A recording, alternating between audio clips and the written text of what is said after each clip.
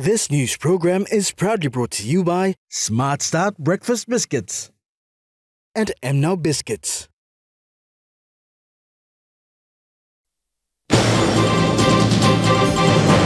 Casket of late Sir Rabi arrived in Port Moresby yesterday. National house cry of late Sir Rabi underway. And Mineral Resources Authority celebrates 15 years. Good evening. This is National MTV News. I'm Grace Papiali. Thank you for joining us. The casket of late Sir Rabi Namaliu arrived yesterday afternoon in Port Moresby from his home province of East New Britain, accompanied by Deputy Prime Minister John Rosso. On hand to receive late Sir Rabi's casket was Foreign Affairs and National Events Minister Justin Tkatchenko and the East New Britain community in Port Moresby.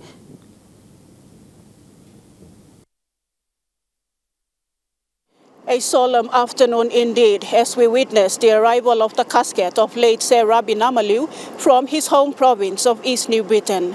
Late Sir Rabi was described by a lot of Papua New Guineans as a man of integrity. As the casket of late Sir Rabi was slowly carried into the main arena, cries of the people could be heard.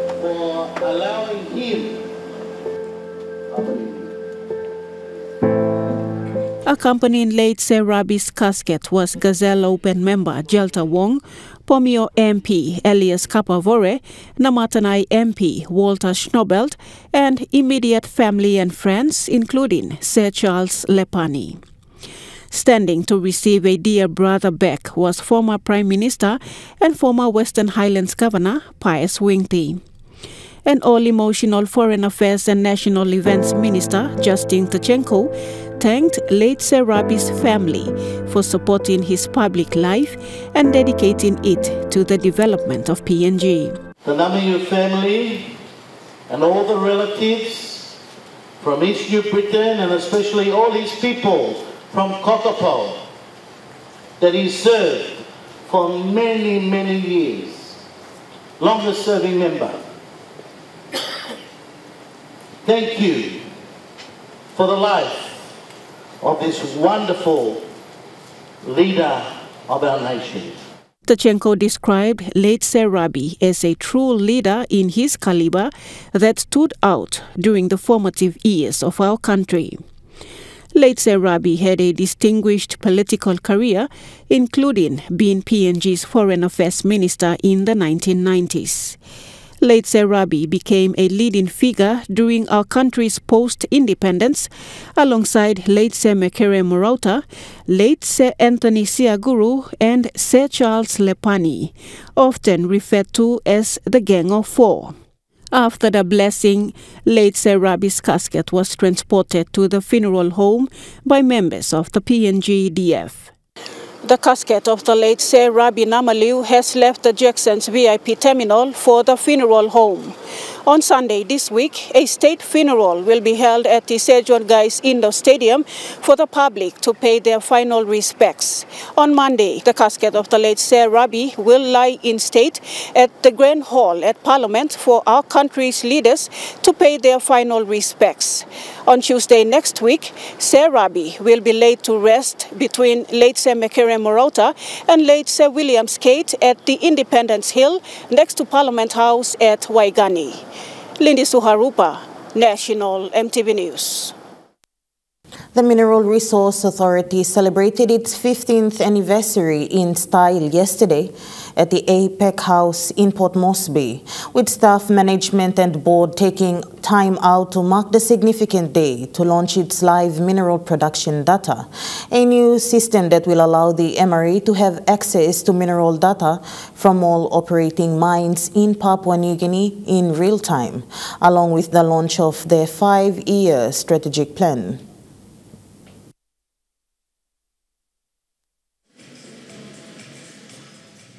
A day to remember yesterday afternoon as MRA staff, management and board took time out together at the APEC House to celebrate, reminisce and look forward as an organisation. Acting Managing Director for MRA, Jerry Garry, said the milestone of 15 years is because of teamwork from those present and those that came before. It has been a teamwork. There has been many leaders before me and before my minister that have carried the responsibility of Uh, uh, promoting and, and regulating the largest industry, which is the mining industry in the country. Mining Minister Sir Ano Pala paid special tribute to the hardworking staff of MRA in the complex work they continue to do for the country. So I want to thank you for all your contributions throughout all these years. Thank you for getting the systems working because our industry depends on your expertise. Our industry uh, depends on expert advice. The event had a couple of slight delays as those in attendance awaited the arrival of Prime Minister James Marape from Rabaul. The Prime Minister wasted no time in addressing those in attendance. The important industry would like the sector to continue on playing an important role and finding a fine balance between national interest and our investor interest is very, very important as most of you would have known, in the three years, going four years now, since I have been the chief executive officer of our country, we try our absolute best to win more for our country, but also in respect to our investors' ability to make a return on the investment. Finding that fine balance has been a, major focus of my government, but this would not have been so if MRA. The event also saw the launch of the Mineral Production Data Repository Hub by Prime Minister James Marape, a new system that allows the Mineral Resource Authority to have access to mineral data from all operating mines in Papua New Guinea in real time. This means MRA will have dedicated officers sit in the hub at the mining house at Connie, where they will have mirror copies of the same data in real time, which their counterparts at mine sites will have access to. Cameras have been installed at mines processing plants. These cameras cameras will transmit pictures and videos of these processes as they happen. In the last 40 years, mining companies have been submitting a form to MRA stating the amount of mineral they have been exporting. However, the MRA, as the regulator, has had no way of verifying the data given in the forms. Hence, the new system will address the gap. The system will not only allow the MRA and state to independently monitor minerals mined and exported, it will also give mining companies greater leverage on a transparency scale in the international stage. It will ensure there is transparency and all minerals leaving the country is accounted for. But more importantly, the country stands to benefit more from its resources. The more we export, the more revenue is generated for PNG. This coincided with the launch of the five-year strategic plan for MRA. Rocky Iso, National MTV News. A 9.1 million Kina Biala court complex said to house both the district and the national court was officially opened by the Prime Minister James Marape and Chief Justice Sir Gibbs Salika yesterday in Biala in the West New Britain province. Prime Minister James Marape was accompanied by few of his fellow cabinet members along with the Chief Justice Sir Gibbs Salika. They were given a warm traditional welcome. Hundreds gathered to witness this opening of the court facility that was launched in 2017. According to the Chief Justice, this facility took too long for completion due to limited resources and COVID 19. Sir Gibbs, in his speech, urged the people to respect and take ownership of the facility. Beautiful facility here. Take care of it. That's my number one point. You have a beautiful place here, take care of it. I don't want to come back here in three, five, four years' time or ten years' time to see it all splattered with betel nut and every other rubbish. Get rid of that. From the moment you come into the court premises, me no like look him this black kind person. Now you come bagrab courthouse. Look out him this like uh, courthouse. Sir Gibbs also reminded the people that the facility represents the rule of law. Courthouse is the face of law and order. You understand him? You like, you got problem, you got dispute. This is where you come and solve it. Don't solve it on the streets. Don't take the law into your own hands. That is the reason why government put in this law, building law for you to make use of. It is the face of law and order. You must use him so that all the disputes below you can be resolved in this courthouse, be heard, be determined by the judges who are going to be here. And so Prime Minister James Marape during the occasion reminded the people of Biala of how peaceful and beautiful the town is and urged them to respect the law. Also, you may mass, holim tok tok lo mama lovely me yet, in a nation of many diversity, diversity lo culture, diversity lo lotu, diversity lo economic wealth or individual status lo one one family the common bind lo yumi and rule of law in our country. And today a symbolic time. Nubla district, Nubla courthouse, but more importantly, same people. Ribbon cutting to officiate the opening of the court complex was done by the Prime Minister, Sir Gibbs, and the former Chief Justice who initiated the project, Sir Salamo Injia. Sharon Engnui, National MTV News.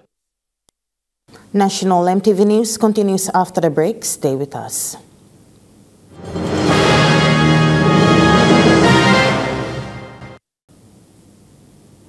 Welcome back to National MTV News. Final preparations are in place at the Sir John Guise Stadium for the National House Cry tomorrow evening.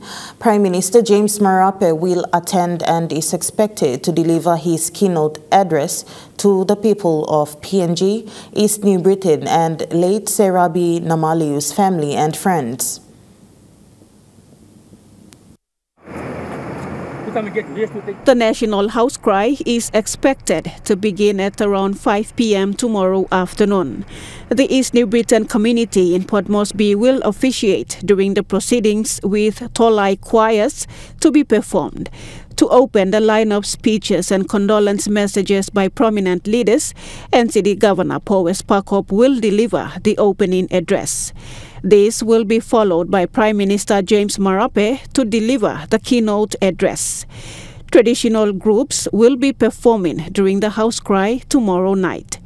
Late Sir Rabi Langanai Namaliu was described by many Papua New Guineans as a man who equally gained the confidence of the society at large.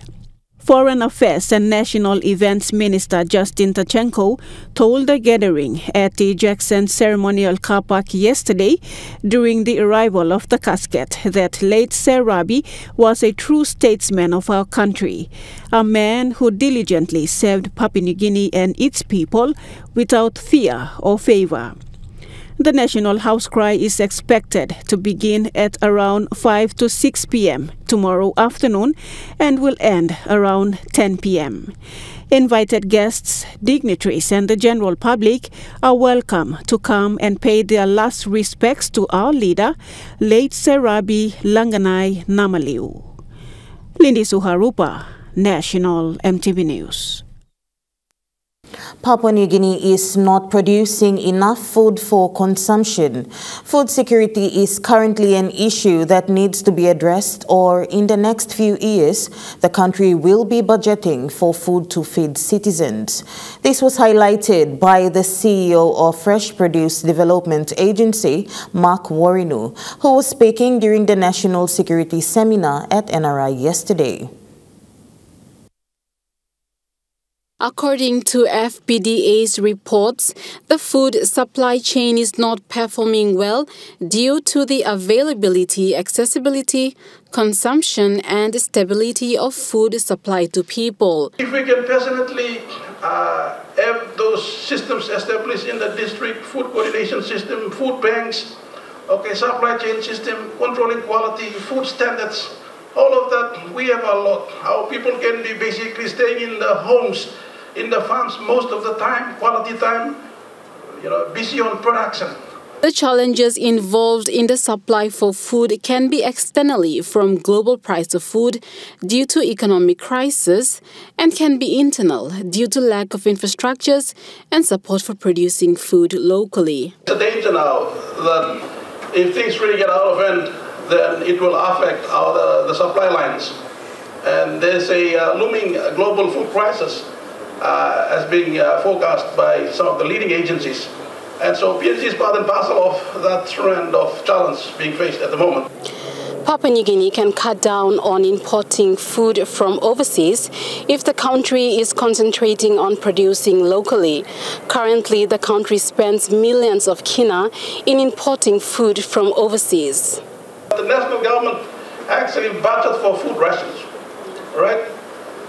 They make sure that the food for the people is actually captured in the national budget which we don't do that. And one day we'll come to that.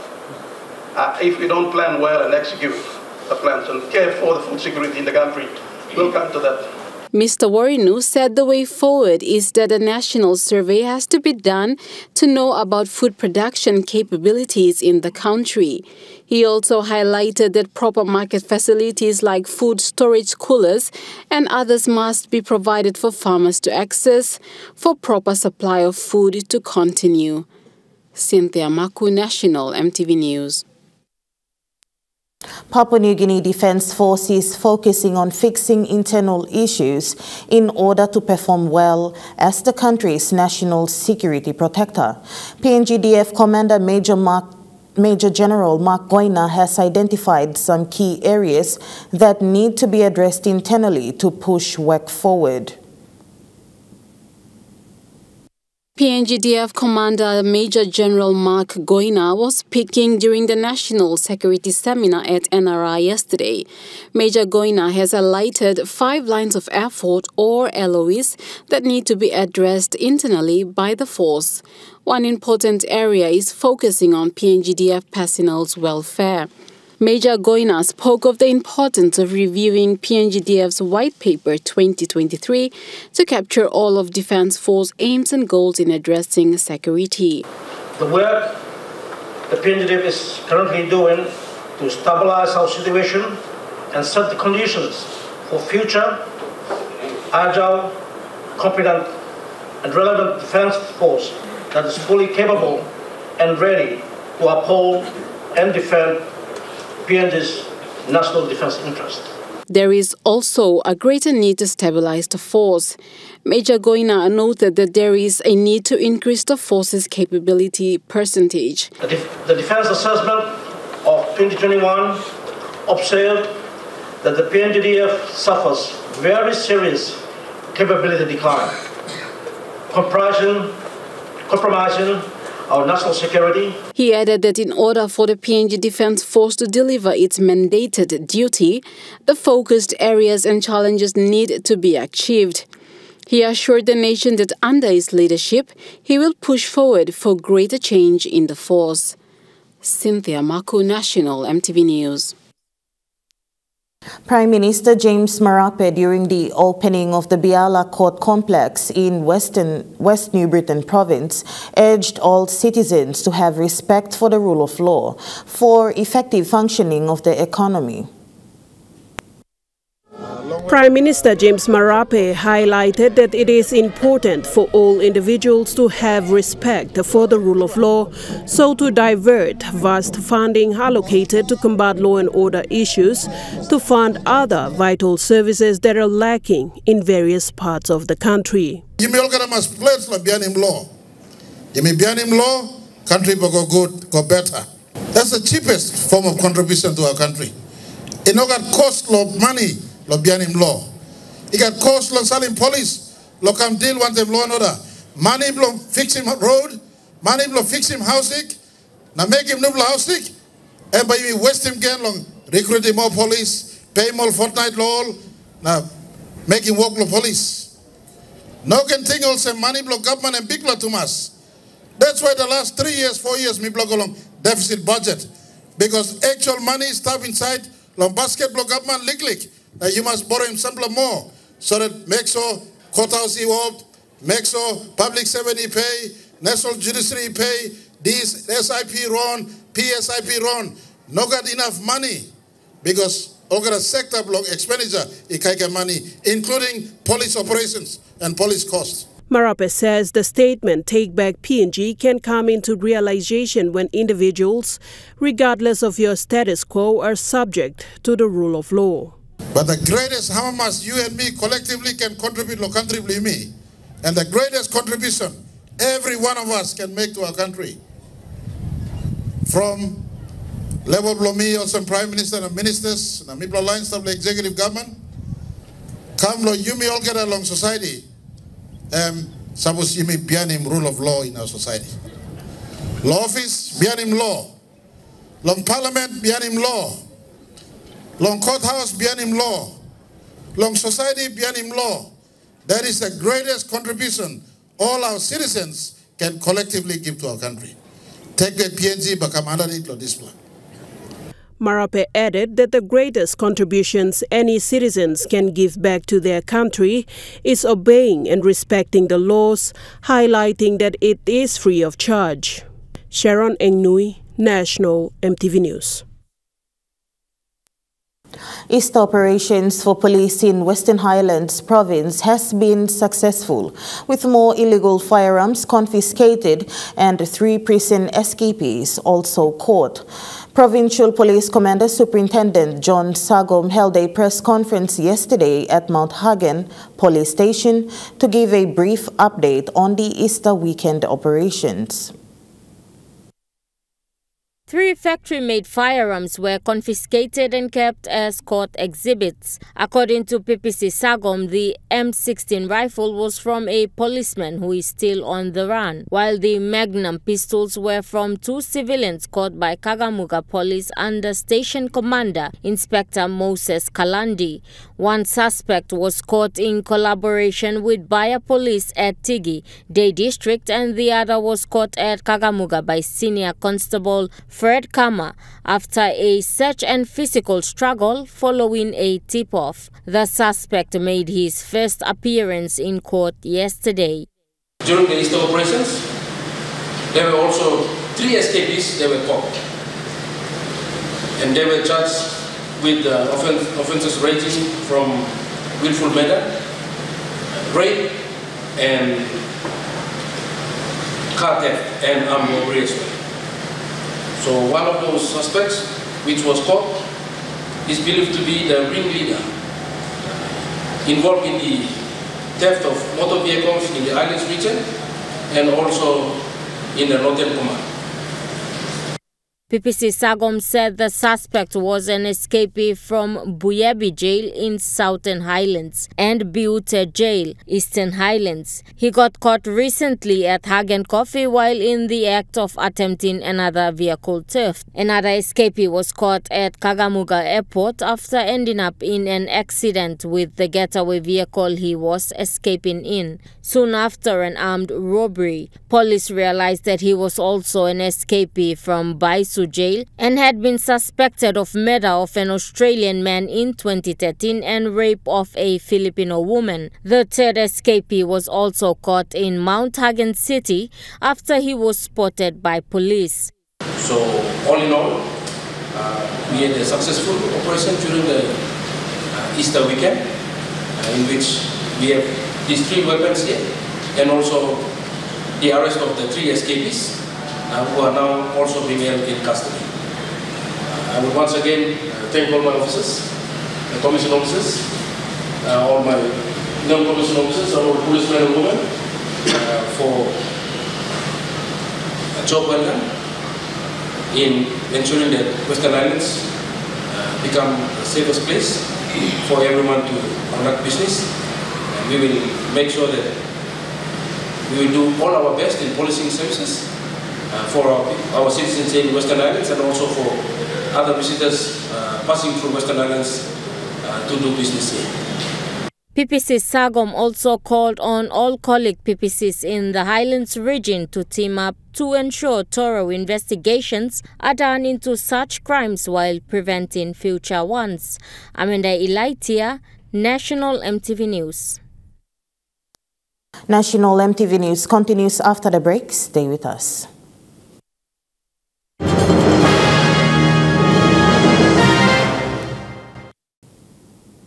Welcome back to National MTV News.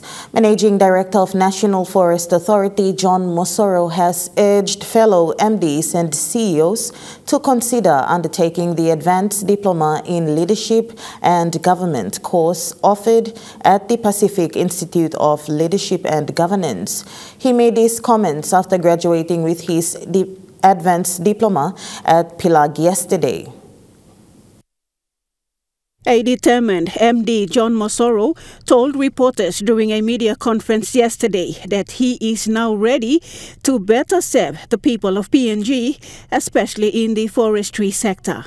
One thing that I realized is that when you're given a government policy is uh, is made or endorsed by NEC, it's a government policy. We have to implement it. So I put my time in this course. This is what every potential person who wants to be a department led or of an organization or a managing director must, it's a compulsory, must sit for this course and must pass it and complete it properly. MD Mosoro further added that this course is relevant for departmental heads to undertake. One important thing that I've picked up from this course is this. Uh, you have to know your um, Finance Management Act, Public Service Management rules. You, know, you have to know your general orders. You have to understand um, how a new uh, big organization can be managed. A total of 15 departmental heads, like Chief Censor Jim Abani, Dr. Mange Matui of the Constitutional Law Reform Commission, and others, including Mr. Mosoro, graduated yesterday with advanced diplomas in leadership and government during PILAG's graduation. Lindy Suharupa, National MTV News. Moving to overseas news now, and tropical cyclone Ilsa in Australia has finally slowed down whilst heading towards the country's northern territory.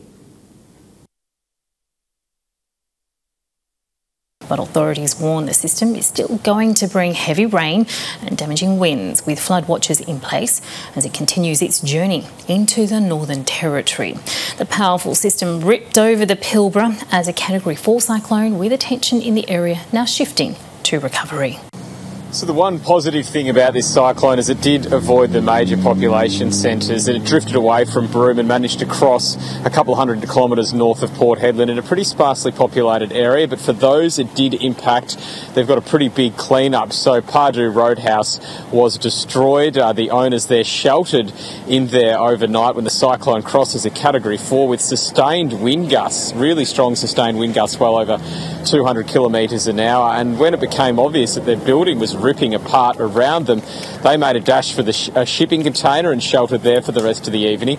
As the uh, cyclone also um, caused a lot of havoc to a cattle station around there, so uh, the managers and workers on that cattle station evacuated before the cyclone hit. They'll go back today and assess uh, infrastructure losses, and, and hopefully for them, stock losses uh, won't be too big. The one concern they have is a lot of their cattle were calving at the moment, so the concern is with those really strong destructive winds and those really heavy rainfall totals that uh, could impact those smaller animals. So we'll wait to see from them what the full extent of damage is. We also spoke to another station just a little bit further. A man charged for the stabbing and killing of a paramedic faces court in Sydney. 29 year old paramedic was attacked while he and his colleague were taking a break in a McDonald's car park. He later died in hospital. A 21 year old man was arrested at the scene, and police have confirmed it was a random attack. The accused lawyer says his client was made aware of the severity of the situation. My client's currently at police bedside. He's suffering from a mental health issue, um, so there's nothing further that I can say at the moment. Does your client know the gravity of the charges? Um, I've explained it, and he's fully aware of the gravity of the offences. Protests erupted in Paris over the government's decision to approve the pension bill.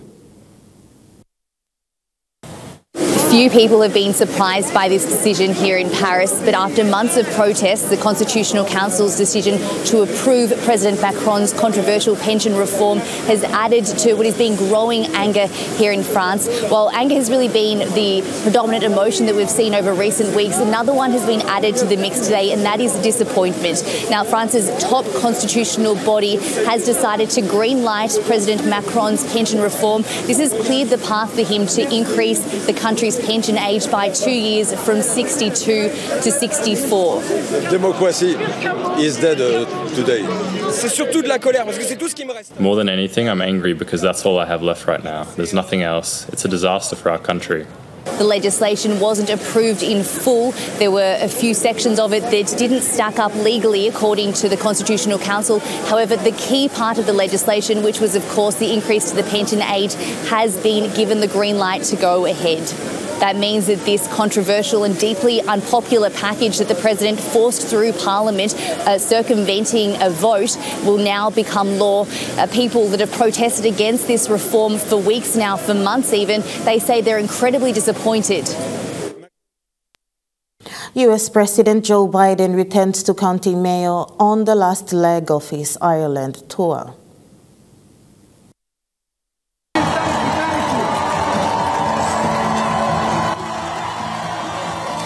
President spoke at a homecoming celebration outside a cathedral in the town of Ballina, where a crowd of up to 20,000 people lined the streets. It comes a day after President Biden declared he was home as he made an historic address to the Irish Parliament. And I want to thank you. I mean this from the bottom of my heart. I want to thank you for the incredible generosity you've shown, like so many other Irish families across this country, who've opened up their hearts and homes tens of thousands of Ukrainian refugees fleeing Russia's brutal violence. I've been there many times. Ireland remembers. The European Space Agency has started on an eight-year mission to Jupiter. Deux, un, top. The start of a journey to the outer reaches of the solar system. This is the European Space Agency's JUICE mission.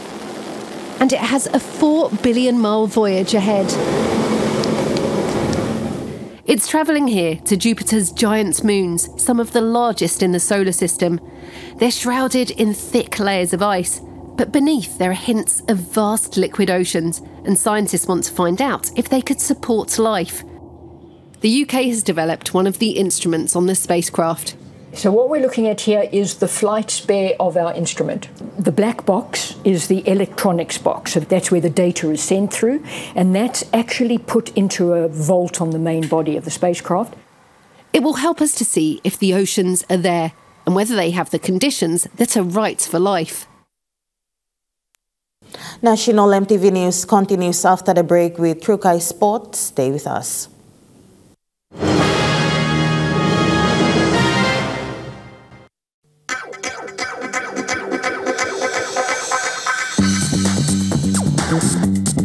Trukai Sports.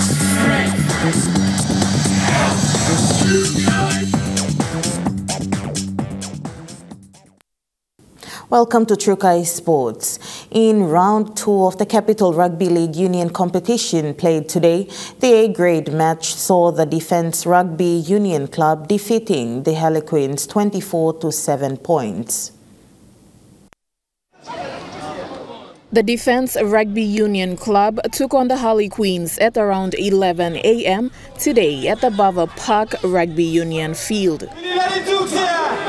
Both sides secured one try each with successful conversions in the first half, but the second half saw the defense side proving too strong as they scored their winning try.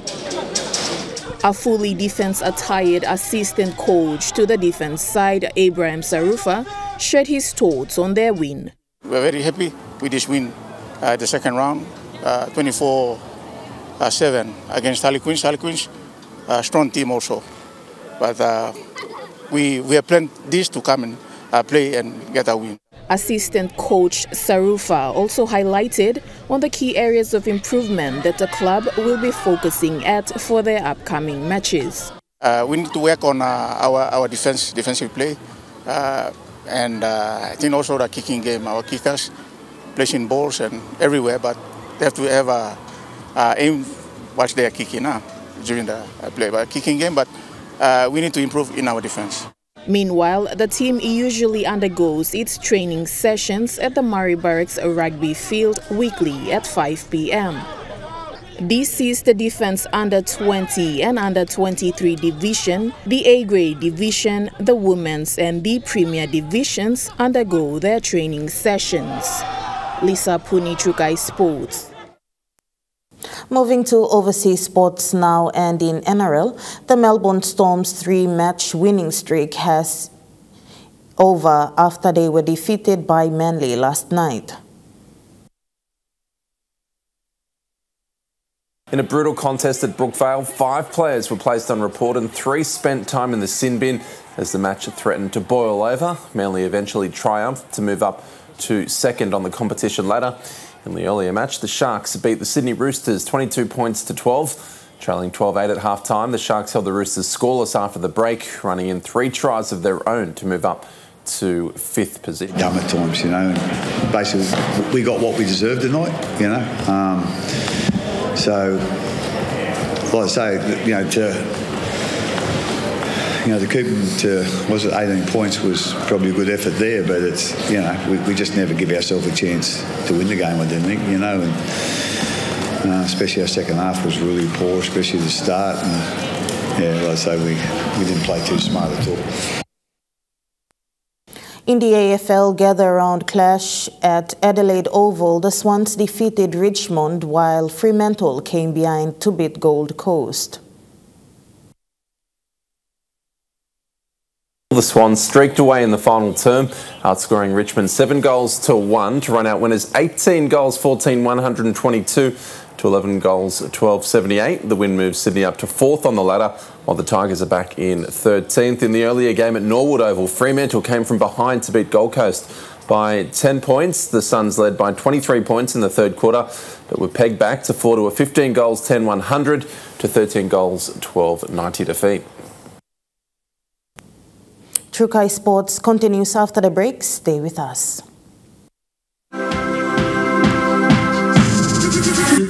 Trukai Sports. Welcome back to Trukai Sports. In soccer, Newcastle have had a dramatic victory over Macarthur at the Hunter Stadium. Matthew Yeoman's 79th minute opener gave Newcastle a deserved lead, but Macarthur scored an injury time equaliser that looked to give the visitors a share of the points. However, uh, O'Neill's 95th minute winner gave the Jets all three points. The win moved Newcastle up to seventh on the competition ladder. The Brumbies have survived a comeback scare from the Fiji Drua in their Super Rugby Pacific match. The Australian side had to dig deep to record a 45 points to 28 win in Canberra. The Brumbies led 19-0 early, but the Drua fought back to trail by just three points midway through the second half before the Brumbies eventually pulled away. Earlier, the Reds bounced back to beat Moana Pacifica 40 points to 28 in Apia. And in the Super W competition, the Brumbies beat the Melbourne Rebels 30 points to 23. And that ends Trukai Sports. The MoniPlus Weather Report is next. Stay with us. Trukai Sports.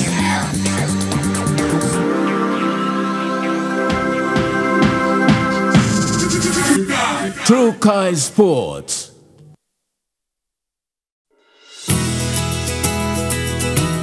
This weather update is proudly brought to you by MoniPlus. With you always.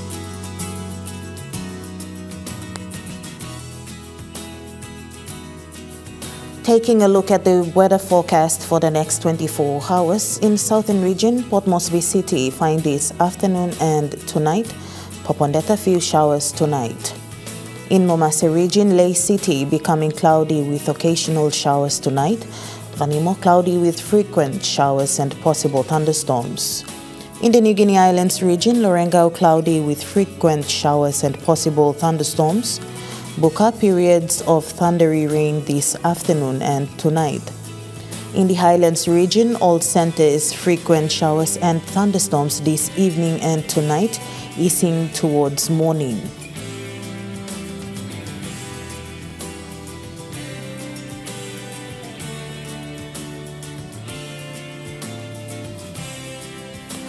Waters of southern PNG Indonesian border through Torres Strait to Daru to Kerema to Port Moresby to Hood Point to Samarai Islands seas 0.5 to 1.3 meter.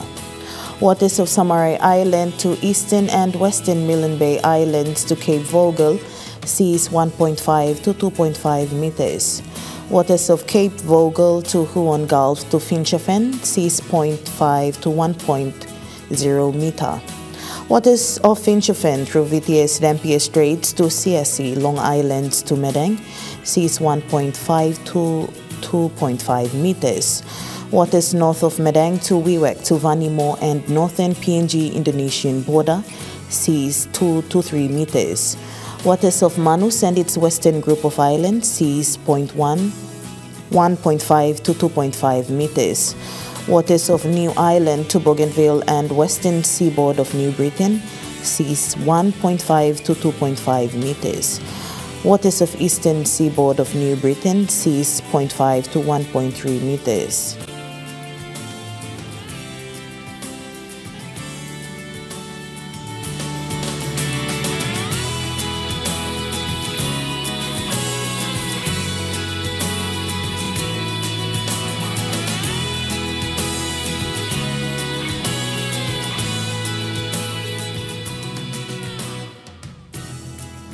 Coral Sea seas smooth to slight northwest to southwest winds of 5 to 15 knots. Solomon Sea seas moderate to fresh south to southwest winds of 15 to 20 knots. Bismarck Sea seas fresh to rough, northwest winds of 20 to 30 knots. Pacific Ocean seas moderate to patches rough, northwest to westerly winds of 15 to 25 knots.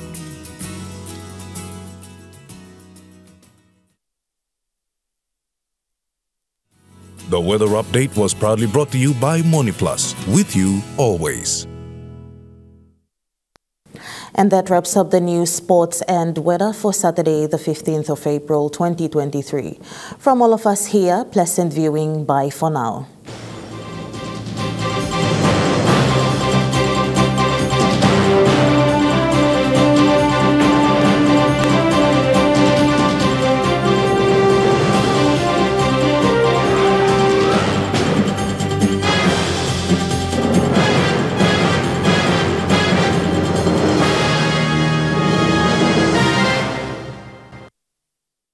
This news program was proudly brought to you by Smart Start Breakfast Biscuits and Gold Nuggets.